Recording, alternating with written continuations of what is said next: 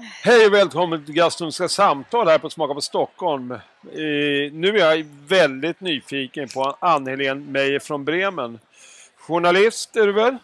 Ja. Och eh, arg skribent? Jag är författare, ja. Ja, men du skriver ju en, en, du har en blogg som heter... eh, Hungry and angry, Ja, just det. Och, Det är lite på skämt också. Ja, jag förstår det. Och eh, jag, är, jag är faktiskt sån här... Eh, jag är väldigt snäll människa. Ja, men jag... jag, jag men, så, men jag, jag, jag följer dig. Jag tycker du jag har en beundransvärd skärpa som jag tycker att vi ska prata... Jag tänkte vi skulle prata då om en sak som jag vet att du är engagerad i och det är livsmedelsstrategin. Sveriges livsmedelsstrategi. Vi fick vänta länge på den. Ja, Och sen, pub- och sen publicerades någonting. Och eh, vad, ska, vad tycker du vi ska börja i den?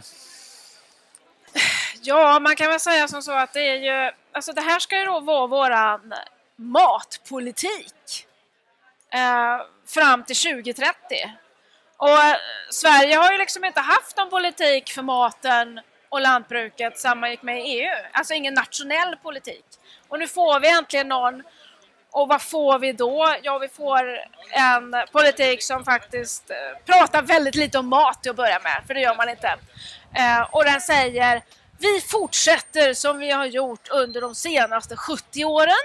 Vi fortsätter med större och färre strukturrationaliserar. Vi vill ha ett jordbruk som producerar mycket, som är rationellt, som är effektivt, som kan konkurrera på den internationella marknaden. Och det här med ätkvalitet eller miljö eller levande landsbygd eller det här, ja, det får överlåter man till konsumenten då kanske att avgöra. Liksom. Det är faktiskt ingenting som man Men alltså, om och det tycker jag är oroväckande. Det är allvarligt liksom. Ja, men, men, men, alltså, men, så samtidigt så pratar man väl om i livsmedelsstrategin att vi ska öka exporten. Eh, Ja. Gör man inte det? Jo. Ja, men ja, vad då, tänker jag? Ja, det kanske är norsk lax då.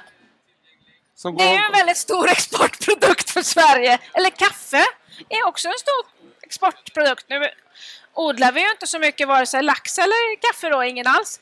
Ehm, nej, men det är väl kanske spannmålet då. Där har, alltså spannmål har vi ju en stor, om man nu inte ska raljera och skoja så har vi en stor export av spannmål. Eh, men ja, det kan man göra. Men, men det man egentligen säger med strategin är ju att man ska öka produktionen. Och förutsatt att konsumenterna vill det då, för det har man ju en brasklapp sen. Och- Och det är på något sätt, det har ju väldigt lite att göra med eh, matkvalitet, med hälsosam mat, med eh, lön. Det pratar ju inget om lönsamhet för bönderna. Eller att vi ska ha fler lantbruk. Eh, utan det är bara det här liksom gamla malandet att vi ska ha fler ton vete på våra åkrar och vi ska få ut mer mjölk från våra kor. Va? Ja, men, och eh, det, och finns vidare. något, det, det finns sånt, mycket snack om produktivitet. Ja. Gör inte det? Det är väl inte de, de genomgående Ja. liksom, orden som Ja. kommer. Produktivitet, effektivitet, konkurrenskraft så att säga. Då. Och vad skiljer det sig från 40-talet och fram till nu? Ingenting va? Eh, tyvärr. Alltså, ja, för, man kan säga att 47 det är då fattar man ju ett stort jordbrukspolitiskt beslut när man bestämmer sig för att nej men det, nu tror vi inte längre på det här med de här små gårdarna. Va? Eh, vi vill se liksom en industrialisering av jordbruket, vi vill se större gårdar, vi vill se mer produktion och så vidare. Ehm, och det, det är liksom det är ju på något sätt resultatet av 70 års politik som vi ser idag. Va? Med liksom eh, med- med väldigt få gårdar Eh, och de gårdar som finns kvar är väldigt eh, där är ju allt fler allt större. Vi har liksom obalans i närings, näringsflödena till exempel. Vi har liksom renodlade stora spannmålsgårdar och vi har stora djurgårdar så att säga. Um, Ja, men alltså, och det- mellanbygder har förlorat sitt, sitt jordbruk och så vidare, vilket är ett jätteproblem. Liksom. Ja, men sen funderar på om man använder samma språkbruk och använder samma metod så Ja. får man ju samma resultat eh, på något sätt. Och det värsta är ju att det säger man också i livsmedelsstrategin. Man, man, man pekar själv på, för det man ska komma ihåg med livsmedelsstrategin är att den är i allra första hand en sysselsättningspolitik. Det är faktiskt det det är. Va? Alltså, jag, har själv eh, under många år varit medlem av Socialdemokraterna och jag, sk jag skulle ändå vilja hävda att det här är klassisk eh, betongsossepolitik faktiskt. Det är sysselsättning det är frågan om. Och då säger man så här, ja, det har ju visserligen då visat sig att om man tittar på jordbruket då under de senaste 20 åren så har sysselsättningen minskat just beroende på att man är så duktig på att effektivisera va? och mekanisera. Eh, men eh, Ehm, det, det, är ändå bättre att eh, det finns eh, något jordbruk än inget alls. Så man har liksom ingen, man har inte ens någon vision när det gäller sysselsättningen. Man är medveten om att den kommer att minska. Fast så säger man så att, det är ändå bättre att vi har något jordbruk för om, om vi inte har någon internationell konkurrenskraft då kommer det ju slås ut totalt och då är det absolut ingen som jobbar. Så sysselsättning, eh, sysselsättningspolitiken är att det är bättre om det är två som jobbar än ingen då ungefär, om man ska vara elak. Och det ska man vara tycker jag i det här fallet. ja. Jo men här kan man väl, skulle man, alltså när vi fick vänta så länge skulle man ju kunna förvänta sig något mer resultat skulle man väl kunna tycka ändå. Eh, den, den, för en, en av de sakerna som jag slagits utav det var att det, den här tidigare eh, regeringens eh, eh, Matlandet-satsning. Det fick ju en hel del kritik för det var bara snack. Mm. Men jag vill ändå påstå att den fick ändå någon typ av momentum, i synnerhet ute i landet, på någon typ av gräsrotsnivå. Nu skrotar man det för att det skulle komma någonting bättre. Och, och det, det, är intressant att de etablerade eh, bondeorganisationer och andra, de var väldigt kritiska mot Matlandet. Nu är man inte kritisk Nej. längre Nej. och det, det, tycker jag är så märkligt. Ja. Där händer det något. Mm. Nu har vi någonting ja. där som är, där det egentligen inte finns någon förutsättning att det ska hända något. Men Nej. nu känner man igen sig ja. och då är man trygg. Eller vad är det för någonting som är... Ja, men det kanske faktiskt är så att det är en, att det är en igenkänning. Nej, men jag tror att man... Eh, jag, jag tycker också att den här reaktionen från just eh, eh ledningen inom LRF ska man väl säga, för, för det finns nog lite olika åsikter bland medlemmarna i LRF om man säger så. Eh, jag tror aldrig jag tror aldrig bondekåren har varit så splittrad som den är just nu faktiskt. Men strunt i det. Det är förvånande då med den här oerhört positiva reaktionen från just LRFs ledning. Och jag tror att det kanske är mer ett resultat av att man har så länge vant sig vid smulor. Alltså man har vant sig vid om man får några ören mer för mjölken. Va? Och diskussionerna handlar ofta sådär att ja, vi måste få lite mer därför att GMO-fritt det kostar ju tre öre mer. Alltså man, man har hamnat i någon slags liksom, diskussion om centimetrar och ören på något sätt. Och man tar aldrig de här eh, stora frågorna på något sätt. Va? Ehm, där, där, man säger liksom okej, okay, men samhället vill tydligen här nu att vi ska jobba mer med klimatet, vi ska jobba eh, mer med djuromsorg, vi ska göra vissa, vi ska vårda kulturlandskapet mer, vi ska göra vissa insatser för miljön och samtidigt så vill ni att vi ska producera mat så himla billigt som möjligt och här har vi en intressekonflikt. Eh, vi måste ha en ny överenskommelse med samhället, ett nytt kontrakt. Men den diskussionen, den skulle man ha tagit i det här va? under den här perioden som det pågick. Det gjorde man ju inte. Så, och då får man liksom resultatet, eh, jordbruket ska producera mer om konsumenterna vill det. Eh, och då säger man Gud vad bra! Äntligen har vi liksom en minister som säger att jordbruket ska producera mer. Det här är en seger. Det är ofattbart faktiskt. Det är ofattbart. Ja, det, det, analysen blir knepig, mm. så skulle man kunna säga. Eh, om man ska titta om, utifrån ett lantbrukets Ja, precis. För om ministern hade sagt liksom, vi ska ha lönsamma jordbruk.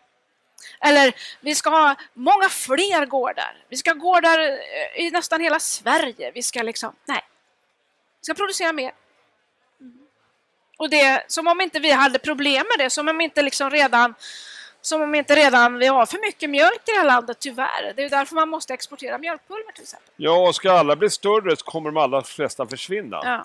Ja, ja, visst. Om vi inte ska drunkna i mjölk ja. och honung. Men eh, det, ja, en, en eh, Annelien, om eh, nu, eh, det, det är sån här fånig fråga, men man kan ändå ställa den för jag tycker det är ganska kul. Och nu är du ministern och du ska göra en livsmedelsstrategi.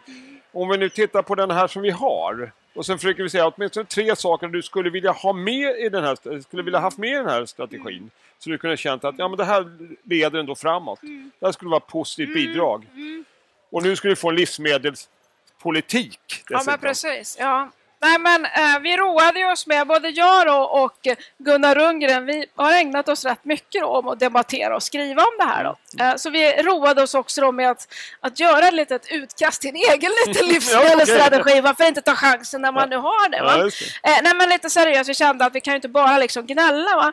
Och då sa vi bland annat då att eh, om man nu skulle ha, vi, vi är liksom medvetna om att eh, det, om man nu ska ha ett hållbart jordbruk som ska ehm, ge en levande landsbygd och allt det här och, och eh, ett eh, lantbruk som folk kan leva på och så vidare. Då kanske det behövs lite större förändringar. Så vi är medvetna om att det måste gå successivt men vi tycker ändå att man skulle sätta några andra mål. Då, till exempel då att, att man ska producera mat åt medborgarna.